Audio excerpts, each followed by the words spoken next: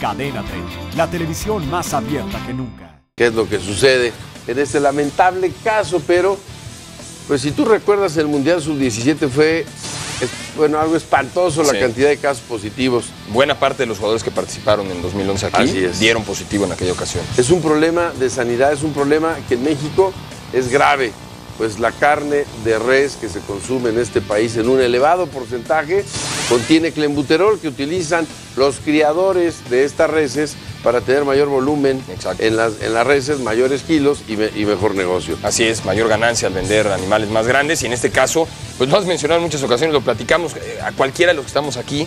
eh, Si le hacen un examen consumidores de, clenbuterol aquí a los muchachos del staff, yo te apuesto que a ninguno le sale positivo, Es que es un... porque ellos son vegetarianos Ellos son vegetarianos.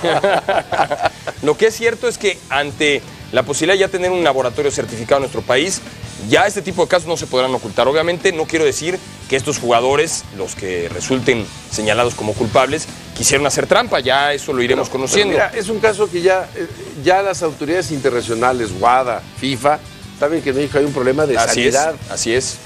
Va más allá de simples jugadores que quieran aprovecharse de alguna sustancia. Yo también no metería las manos al fuego por el fútbol mexicano porque me parecería muy arrogante creer que el fútbol mexicano está exento. Pero yo te de digo, casos. si es clenbuterol, dejémoslo de lado. Pues, o sea, es, exactamente. es perder el tiempo. Es que aquí es importante exactamente qué sustancias de las que estamos si es hablando. nandrolona, EPO, entonces sí. Efedrina. Efedrinas, eh, cocaínas Claro, y demás. ah, no sé, en México no se ha hablado de un caso como esos, eh, inclusive hormona de crecimiento que se ha popularizado allá en los Estados Unidos y que se está buscando erradicar también. Así es, pues es penoso el caso, pero no es nada nuevo. En nuestro país hay un problema de sanidad.